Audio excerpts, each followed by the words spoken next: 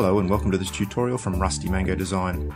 In this tutorial we'll learn how to create links on your page content with text and images. We'll also show you how to unlink things when you've finished with them.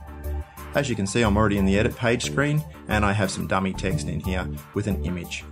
To link up text to a URL or another place within your website, you simply have to insert the text or just select text that you've already got. I'm going to insert text for this first demonstration. So I'm going to click down here and I'll create a little text information link. So I've typed in click here for more information and I highlight that. Then I come up to my icons and there's a chain link that says insert edit link. Click on it, you get a pop-up screen and I'm going to set this off to website that everybody knows is going to go off to Google. So I type that in the URL box up the top and then I go to the blue button down the bottom and click add link. And there it is there. That is now a link that goes off to Google.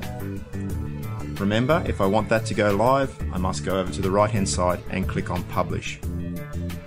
I'm going to delete that link and show you another way of creating a link with content that you've already got. Just say this sentence here, I want to link that up to a page within my website. I go to the exact same button and click on it, Insert Edit Link. But instead of using the top part of the screen, I'm going to use the bottom half. And there is a little uh, title here that says Link to Existing Content. So I'm going to scroll down and we're going to link back to the home page. Where is it? Here it is here. Click on add link and you'll see that that text now has an underline to show that it is a link. It's actually changed color too. And that will link to the front page of the website. So you use that trick to link to content that you've already created. URLs go off-site, this one stays on-site. I would like to link this image up to the dresses page on this website. To do that, almost the same process. You click on the image and you'll see that it gets highlighted and you have your little editing buttons across the top there. Same button again, insert edit link and same options. You can put in a URL to send it somewhere else on the internet or you can find the page within your site. Let's go with this one here and click add link.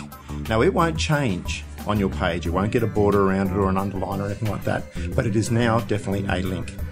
And once again, to make that live, you must click on publish.